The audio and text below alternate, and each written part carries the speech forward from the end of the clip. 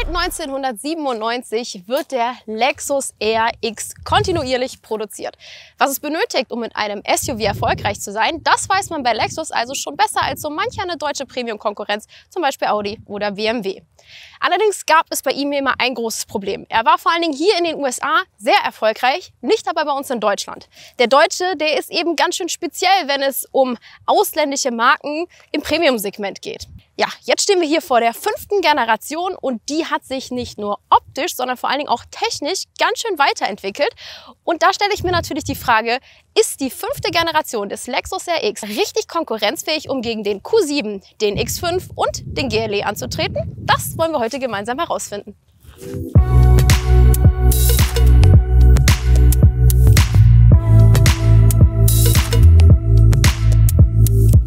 Der X wird bei uns in drei verschiedenen Varianten angeboten. Den Einstieg macht der bekannte Vollhybrid 350h. Hier kommt ein 2,5 Liter Vierzylinder zum Einsatz und wir haben eine Leistung von 245 PS, also 180 kW. Völlig neu ist der Plug-in Hybrid 450h Plus. Hier paart sich der 2,5 Liter Motor an der Vorderachse mit einem Elektromotor am Heck. Dieser wiederum wird von einer 18,1 Kilowattstunden Batterie gespeist. Ja, und das Ganze bringt dann nicht nur Allradantrieb, sondern auch noch eine Systemleistung von 306 PS, also 225 kW. Wir sitzen hier übrigens in der Top-Motorisierung, dem 500H. Anders als in der früheren Top-Motorisierung kommt hier allerdings kein Sechszylinder mehr zum Einsatz. Nein, wir haben hier einen 2,4 Liter Vierzylinder Benziner. Dieser hat allerdings zwei Besonderheiten. Das erste ist, als einziger der drei kommt er hier nicht mit einem CVT-Getriebe, sondern mit einer Sechsstufen-Wandlerautomatik. Und wir haben hier eine Unterstützung von einem Turbolader. Das heißt, mit der Unterstützung des Turboladers kommen wir hier auf 371 PS. Zwischen Verbrennermotor und Getriebe vorne sitzt ein E-Motor. Außerdem setzt auch die Hinterachse auf ein modulares Paket bestehend aus einem Elektromotor, dem Steuergerät und einem Getriebe. Das intelligente Allradsystem das verteilt nicht nur schön die Kraft auf die jeweiligen Achsen, sondern lenkt auch noch schön in der Hinterachse mit, wodurch der Wagen ein wenig agiler wird. Anders als die deutschen Hersteller verzichtet Lexus vollständig auf eine Dieselvariante, hat aber wiederum mit dem Vollhybriden ein Alleinstellungsmerkmal. Nicht nur an der Motorenpalette, auch am Design hat sich so einiges verändert. Zum Beispiel hier am Grill. Der nimmt jetzt die Front weniger stark ein und auch die Lichtsignatur, die hat sich ein wenig hier vorne verändert. So ist, sind die Scheinwerfer jetzt noch mal einen Ticken schmaler geworden und stehen weniger steil. Und am Heck, ja, da setzt man jetzt auf eine schicke, trendige Leuchtleiste. Der neue RX, der wirkt auf mich ein wenig schlanker als sein Vorgänger. Woran liegt das? Wir haben zum einen eine etwas längere Motorhaube und der Radstand, der wurde um 6 cm verlängert. An der Gesamtlänge von 4,89 Meter hat das aber nichts verändert. Dafür gab es ordentliche Änderungen im Innenraum. Und in diesen reinzukommen, müssen wir einmal hier die Tür öffnen. Hierhinter ist ein Knopf, den drückt man ganz einfach und schon kommt man rein.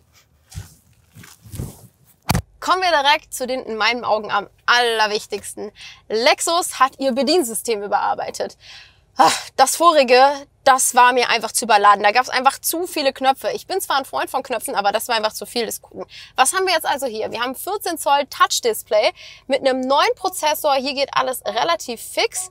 Ja, wie gesagt, alles Touch und HD-Grafik. So, und was habe ich hier noch? Ich habe hier noch richtige Regler für zum Beispiel die Klimasteuerung, Lautstärke. Und ich habe hier noch unten so ein paar Knöpfe. Das ist in meinen Augen der perfekte Mittelweg. Außerdem ist hier der Aufbau relativ simpel. Ich weiß direkt, wo ich hintatschen muss, um irgendwas zu finden. Das gefällt mir richtig, richtig gut. Schauen wir uns weiter um.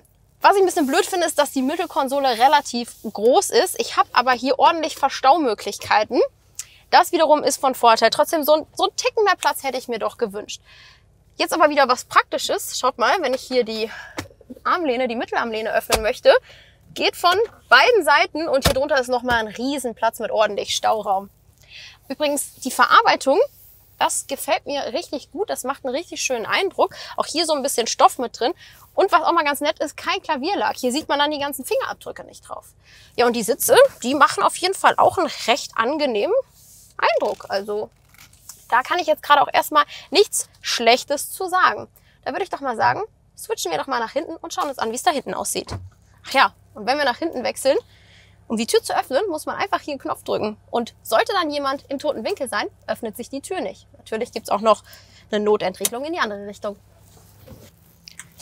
Im Vergleich zum Vorgänger haben wir hier hinten laut Datenblatt ein Zentimeter mehr Beinfreiheit. Gut, das wird man jetzt wohl kaum merken, aber wie fühlt es sich denn für mich hier hinten an? Also ich würde Beinfreiheit definitiv als mehr als ausreichend einschätzen.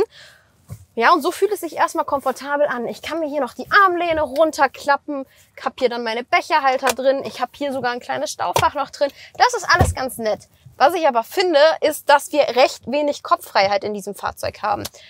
Gut, wenn ich mich ein bisschen freier fühlen möchte, dann äh, hab dann das Glasdach und ja, dann fühle ich mich zumindest ein bisschen freier. Was aber immerhin wieder positiv ist, wenn ich vielleicht zu groß bin mit dem Kopf oben dran komme, dann lehne ich mich einfach so ein Stückchen weiter zurück, mach's mir bequem und dann passt das auch wieder.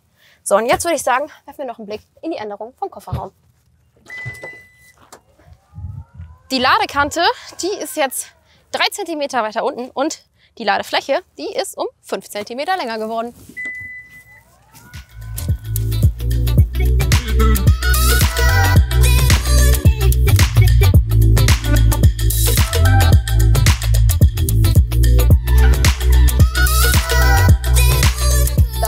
Vorgängermodell, das kam zwar mit V6 und 313 PS Systemleistung, allerdings war es auf der Autobahn eher ein bisschen nervig damit zu fahren, weil einfach gerade auch durch das Getriebe die Geräuschkulisse ziemlich hoch war und es auch einfach ziemlich träge war.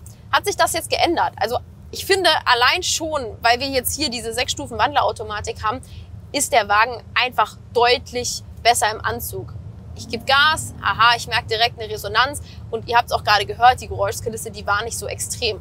Was mir besonders gut gefällt, ist, dass ich jetzt wenigstens auch hier die Shift-Pedals mal ordentlich nutzen kann hinterm Lenkrad und die auch eine gewisse Sinnhaftigkeit haben. Schauen wir mal, was sich ändert, wenn ich mal hier auf die Fahrmodi gehe.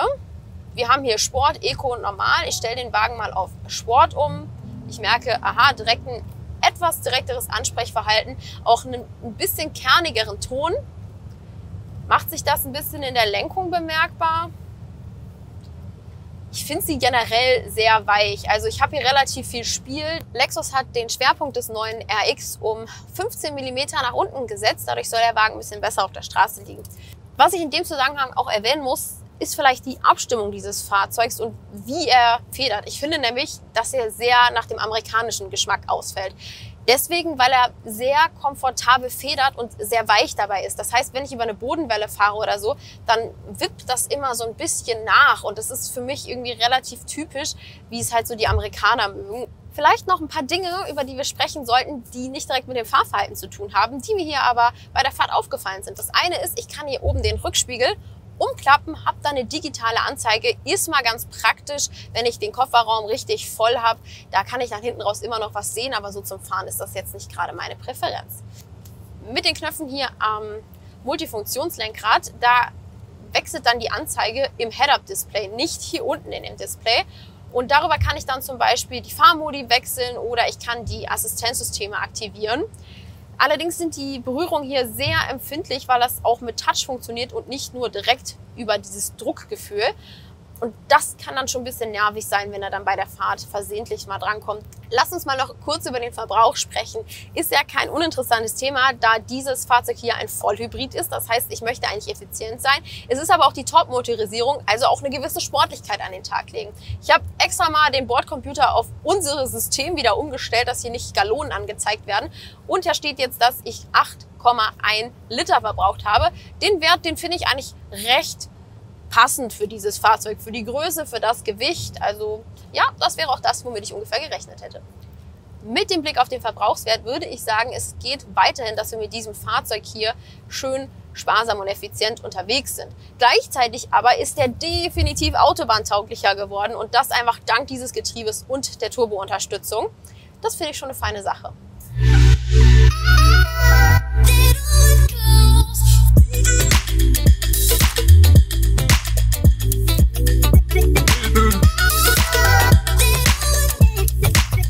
Schafft es der Lexus RX in seiner fünften Generation endlich auf einer Stufe mit Audi Q7, BMW X5 und Mercedes GLE zu sein. Was ich euch sagen kann, ist, dass er hier auf jeden Fall ein ordentliches Update bekommen hat. Ich finde, das neue Getriebe tut diesem Wagen unheimlich gut. Er hat endlich diese gewisse Sportlichkeit, die ich zumindest bei der Top-Motorisierung auch erwarte und kann gleichzeitig immer noch ganz entspannt unterwegs sein. Außerdem habe ich mich hier ganz schön in diesen kupfernen Farbton verliebt. Aber das ist eine andere Sache. Kommen wir noch zu dem Thema Preise. Ich kann ihn euch noch nicht verraten. Was ich euch aber sagen kann, ist, dass sein Vorgänger bei rund 65.000 Euro gestartet ist und damit ungefähr 10.000 Euro unter dem Einstieg der deutschen Premium-Konkurrenz lag. Der neue Preis wird sich an diesem orientieren und wenn wir Glück haben, startet er hier also auch wieder unter dem der Deutschen. Und das ist natürlich auch schon mal ein guter Vorteil. Und ich würde es Lexus wünschen, dass er endlich auch das Standing bei uns in Deutschland bekommt, das er hier in den USA hat.